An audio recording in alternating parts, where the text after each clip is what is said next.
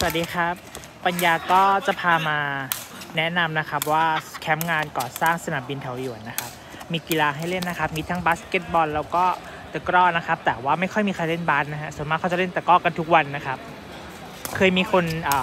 ให้ปัญญาทำคลิปให้ว่ามีกีฬาอะไรก็วันนี้ถ่ายจัดให้เลยครับ แล้วก็มีนักกีฬาเก่งๆเยอะมากนะฮะที่นี่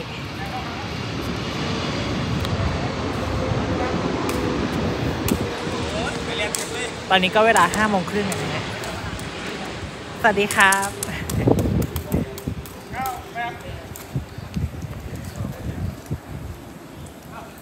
ส่วนวิดีโอนี้ปัญญาอัดด้วย iPad mini 6 นะครับ ระดับความคมชัดก็คือ 4K นะครับ ว้าวกันสั่นดีมากนะ รุ่นเนี้ย iPad mini 6 กันสั่นดีนะฮะ ว้าว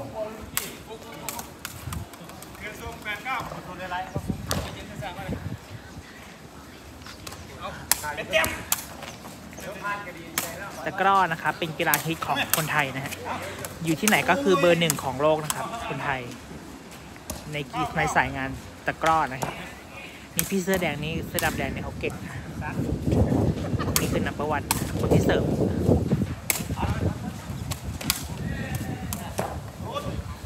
สามลูกติดแล้วนะ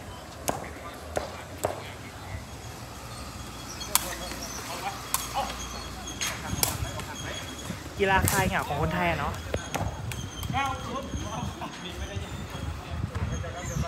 ตั้งแต่มาปัญญาเพิ่งเห็นผู้ชายคนนี้นะทำไมปัญญาไม่เคยเห็นหน้ามาก่อน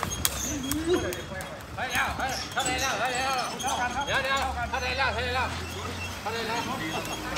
เดี๋ยวเราไปดูโซนอื่นกันบ้างนะครับ ว่ามีอะไรบ้างนะครับ วันนี้ก็เป็นวันอาทิตย์ที่ 25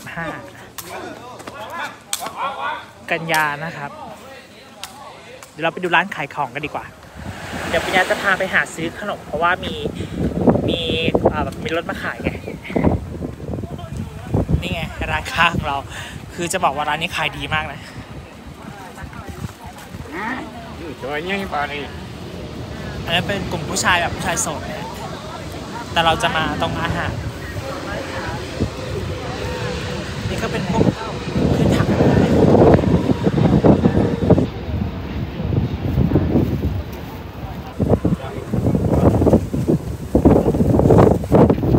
อันนี้ก็คือแรงงานไทยหมดเลยนะครับนี่